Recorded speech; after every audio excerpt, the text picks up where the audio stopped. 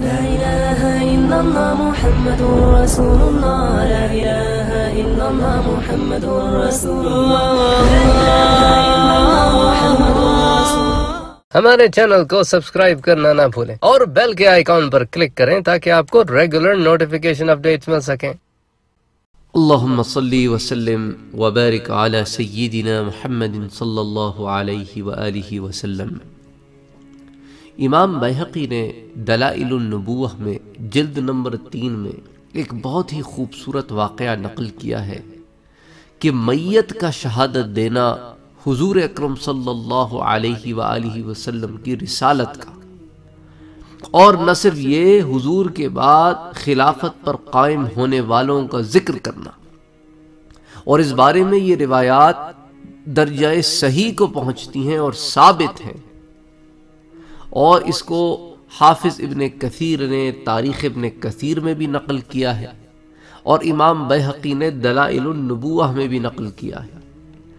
یہ واقعہ ہے ایک صحابی رسول صلی اللہ علیہ وآلہ وسلم کا جو بدری صحابی ہیں اور بدری صحابہ کی شان تو آپ جانتے ہی ہیں۔ اللہ عز و جل نے ان کے بارے میں کیا خوبصورت فیصلہ فرمایا۔ آج کے دن کے بعد جو کرتے پھرو، میں نے تمہیں معاف کر دیا ہے۔ اب یہ جو کرتے پھرو کا مطلب علماء نے یہی بیان کیا ہے کہ میں کوئی ایسا کام تم سے اب ہونے بھی نہیں دوں گا جس سے میری رضا کے خلاف عمل ہو۔ اللہ اکبر اللہ اکبر۔ زید بن خارجہ یہ انصاری تھے۔ ان کا تعلق بنو حارث بن خزرج سے تھا۔ وہ حضرت عثمان غنی کے عہد خلافت میں فوت ہو گئے تھے۔ ان پر کپڑا ڈھک دیا گیا۔ اس کے بعد ان لوگوں نے جو ان کے پاس تھے، ان کے سینے میں سے ایک بن بناہٹ سنی۔ اس کے بعد اس نے کلام کیا۔ کس کے بعد؟ وفات ہونے کے بعد۔ اور پتہ ہے کیا کہا؟ سب سے پہلے کہا، احمد۔ احمد کس کا نام ہے؟ میرے پاک نبی کا۔ کہا، احمد ہے کتاب اول میں یعنی کہ جو کتب متقدمہ ہیں، کتب سابقہ ہیں، پچھلی کتابیں ہیں، ان میں احمد کا ذکر ہے۔ اور پھر کہا، سچ کہا سچ کہا، ابو بکر نے، جو اپنی ذات میں کمزور ہے، مگر اللہ کے امر میں قوی ہے۔ کتاب اول میں یعنی کتاب اول میں ابو بکر کا ذکر بھی آتا ہے، جو بظاہر تو تمہیں کمزور نظر آتا ہے جسمانی طور پر، لیکن ابو بکر اللہ کے امر میں بہت قوی ہے۔ پھر کہا، سچ کہا سچ کہا، عمر بن خطاب نے جو قوی ہے، حضرت عمر بن خطاب جو قوی ہے، امین ہے۔ کتاب اول میں سچ کہا سچ عثمان بن عفان نے، جو کہ ان سابقین کے طریقوں پر ہے، چار گزر چکے ہیں اور دو باقی ہیں۔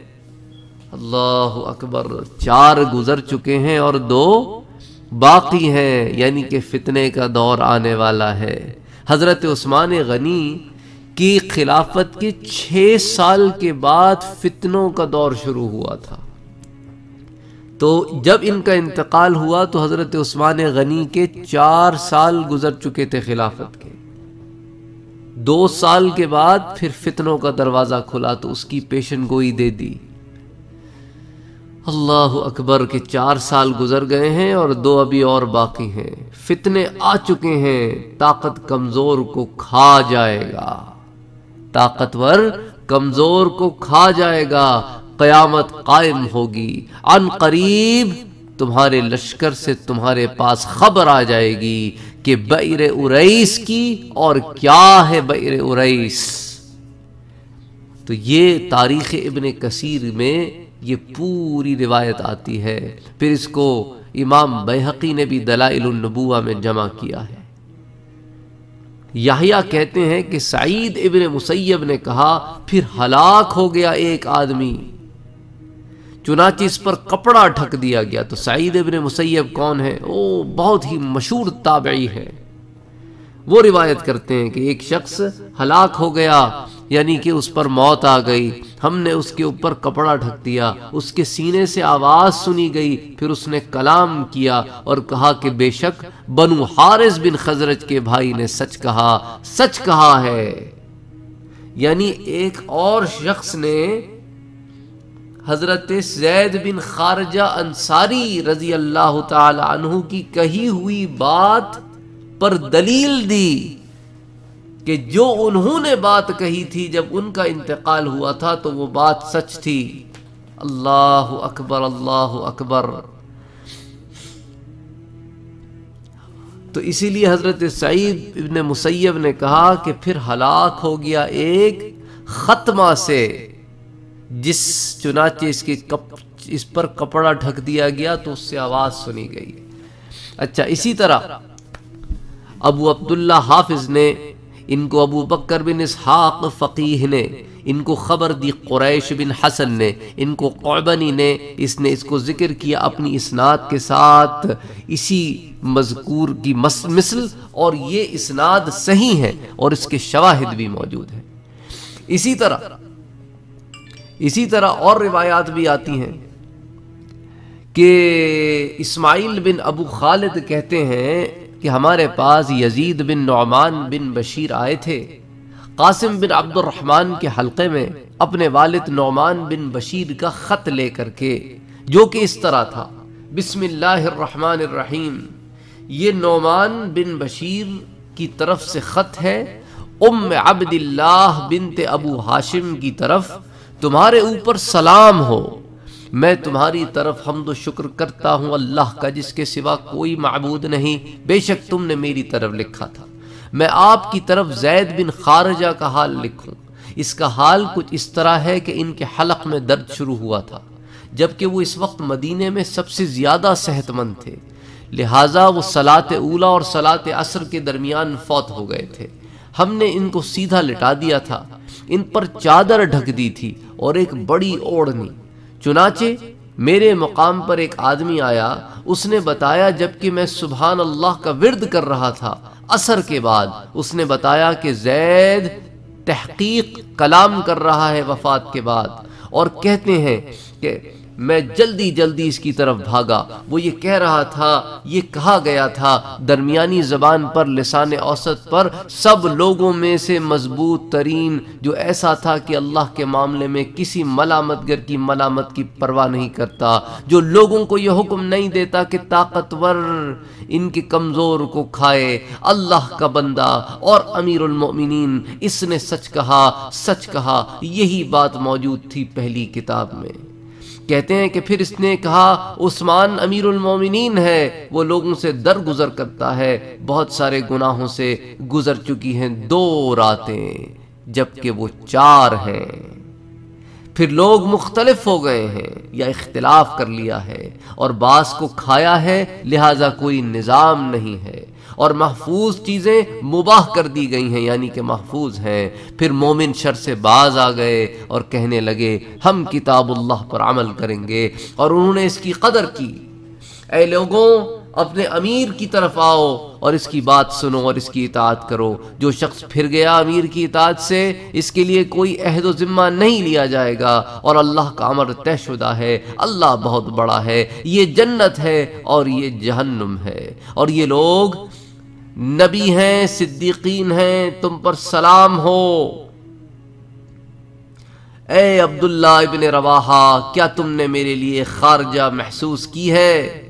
ان کے والد کے لیے اور سعادت ان دونوں کے لیے جو یوم احد میں قتل ہوئے۔ اس کو جس نے پیٹ پھیری اور منہ بھر کر چلا گیا تھا اسلام سے، اور اس نے مال جمع کیا تھا اور اس کو محفوظ کر کے رکھا تھا۔ اس کے بعد اس کی اور زیست ہو گئی۔ میں نے وہاں موجود گروہ سے پوچھا، اس قول کے بارے میں جو اس حیثیت سے مجھ سے پہلے کر لیا تھا، انہوں نے بتایا کہ ہم نے اس سے یہ سنا، کیونکہ یہ تو لیٹ پہنچے تھے نا، انہوں نے ساری بات تو سنی نہیں۔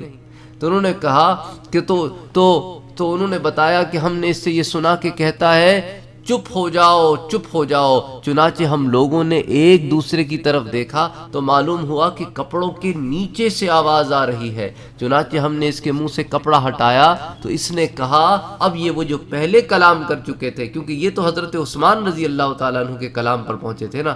تو جو پہلے کلام ہو چکا تھا، لوگوں نے بتایا کہ یہ کہتے ہیں، یہ احمد ہے، اللہ کا رسول، سلام ہو تم پر یا رسول اللہ۔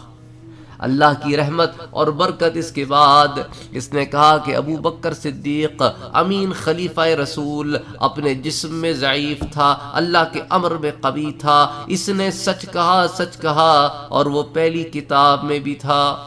اس کو حافظ ابن کثیر نے تاریخ ابن کثیر میں نقل کیا ہے۔ جلد نمبر 6 صفحہ نمبر 157 سبحان اللہ سبحان اللہ سبحان اللہ۔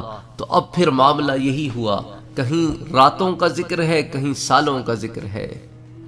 کہ جب حضرت عثمان غنی رضی اللہ تعالی عنہ کے چھ سال خلافت کے پورے ہو گئے، تو پھر فتنوں کا دور شروع ہوا۔ پھر فتنوں کا دور شروع ہوا۔ اللہ اکبر، راوی کہتے ہیں کہ اس کے بعد میں باقی چار کی گنتی کرتا رہا، میں توقع کرتا رہا اس معاملے کی جو ہونے والا تھا ان برسوں میں۔ لہٰذا اسی میں ہوا تھا اہل عراق کا انتظاء و خلافت اور انتشار پھیلانے والوں کا انتشار پھیلانا اور ان کا تان و اعتراض کرنا۔ اپنے امیر ولید ابن عقبہ پر والسلام ورحمت اللہ۔ تو یہ روایت اسناد صحیح پر ہے۔ اس کے راوی حبیب بن سالم ہے اس کے راویوں میں حبیب بن سالم ہے۔ اچھا اسی طرح ایک اور روایت کی گئی ہے، جس کو بھی تاریخ ابن کثیر میں نقل کیا گیا ہے۔ حبیب بن سالم سے، اس نے نعمان بن بشیر سے، اور اس نے اس میں بیر عریس کا ذکر کیا ہے۔ جیسے ذکر کیا ہے اس نے روایت ابن مسیب میں۔ اور بیر عریس کے اس بارے میں معاملہ یہ ہے کہ حضور اکرم صلی اللہ علیہ وآلہ وسلم نے اپنی ایک انگوٹھی مبارک بنوائی تھی۔ جس کے اوپر آپ کی مہر مبارک تھی، وہ انگوٹھی حضور کے بعد حضرت ابو بکر صدیق رضی اللہ تعالیٰ عنہ کے پاس رہی، پھر اس کے بعد حضرت عمر فاروق کے پاس آ گئی، اس کے بعد حضرت عثمان غنی کے ہاتھ میں آ گئی۔ جب ان کی خلافت کے چھ برس گزر گئے، یاد رکھیں، اس نے کیا کہا تھا؟ چار گزر گئے، دو رہتے ہیں۔ تو جب چھ برس گزر گئے، تو اس وقت بیر عریس یہ کنواں ہے۔ اس میں یہ گر گئی۔ آپ وضو فرما رہے تھے، آپ کے ہاتھ سے گر گئی۔ بڑی تلاش کے باوجود یہ نہیں ملی۔ اس کے گرنے کے بعد ہی فتنوں کے اسباب ظاہر ہوئے۔ اور جیسا کہ زید بن حارثہ کی زبان پر جو پہلی روایت آپ سے میں نے نقل کی تھی، اس میں انہوں نے یہی الفاظ کہے تھے۔ کہ فتنے آ چکے ہیں، طاقتور کمزور کو کھا جائے گا، قیامت قائم ہوگی، ان قریب تمہارے لشکر سے تمہارے پاس خبر آ جائے گی بیر اری اریس کی۔ اور کیا ہے بیر اریس؟ یعنی یہ خبر بھی، پیشن گوئی بھی دے دی گئی تھی کہ یہ پیشن گوئی ہے، جب یہ ہوگا تو پھر وہ ہوگا۔ اچھا اسی طرح ایک آدمی ہے۔ جس کو مسلمہ نے قتل کیا تھا۔ مسلمہ کا ذکر تو ہم آپ سے بریفلی پہلے کر چکے ہیں۔ تو مسلمہ نے ایک آدمی کو قتل کیا تھا۔ تو ایک آدمی نے جو مسلمہ کے مقتولین میں سے تھا، اس نے بھی کلام کیا تھا۔ اور اس نے یہ الفاظ کہے تھے کہ محمد اللہ کے رسول ہیں، ابو بکر صدیق ہیں، عثمان امین اور رحیم ہیں۔ راوی کہتے ہیں، مجھے معلوم نہیں کہ اس نے عمر کے بارے میں کیا کہا تھا۔ تو ایک اور روایت اس زمین میں آتی ہے، جس کو تاریخ ابن کثیر میں نقل کیا گیا جلد نمبر چھ میں۔ اور یہ پہلی والی روایت اس کو دلائل النبوہ میں امام بحقی بھی لائے ہیں، پوری صنعت کے ساتھ کہ ہمیں خبر دی ابو الحسین بن بشر نے۔ ان نے، ان کو حسین بن صفان نے، ان کو ابن ابو ابو دنیا نے، ان کو خلف بن حشام بزار نے، ان کو خالد طحان نے، ان کو حسین نے، عبداللہ بن عبید انصاری سے کہ ایک آدمی نے، تو پھر وہ ساری روایت۔ اچھا اب اگلی روایت، جس کے اندر حضرت عمر فاروق کا بھی ذکر ہے۔ اس کو حافظ ابن کثیر نے بھی نقل کیا ہے، جلد نمبر 6 صفحہ نمبر 157 158 پر۔ وہ پوری صنعت کے ساتھ نقل کرتے ہیں۔ ابو سعید بن ابو عمر نے، ان کو ابو العباس، محمد بن یعقوب نے، ان کو یحییٰ بن ابو طالب نے، ان کو علی بن عاصم نے، ان کو حسین بن عبد الرحمن بن عبداللہ بن عبید انصاری نے۔ وہ کہتے ہیں، اچانک وہ لوگ مقتولین کی تصویریں بنا رہے تھے۔ جنگ صفین یا جنگ جمل والے دن۔ اور جنگ صفین اور جنگ جمل، یہ حضرت علی کرم اللہ وجہ کے زمانے میں ہوئی تھی۔ ٹھیک ہے؟ اور یہ جو مسلمہ والا جو ذکر ہے، یہ حضرت ابو بکر کے زمانے میں ہوا تھا۔ کافی پرانی بات ہے۔ تو لوگ ان لوگوں، ان مقتولین کی تصویریں بنا رہے تھے جو جنگ صفین یا جنگ جمل والے دن۔ تو اچانک جو انصار میں سے ایک آدمی نے مقتولین میں سے کلام کیا۔ اس نے کہا، محمد اللہ کے رسول ہیں۔ ابو بکر صدیق ہیں عمر شہید ہیں عثمان رحیم ہیں پھر چپ ہو گیا۔ اللہ اکبر ہمارے چینل کو سبسکرائب کرنا نہ بھولیں اور بیل کے آئیکن پر کلک کریں تاکہ آپ کو ریگولر نوٹیفیکیشن اپڈیٹس مل سکیں۔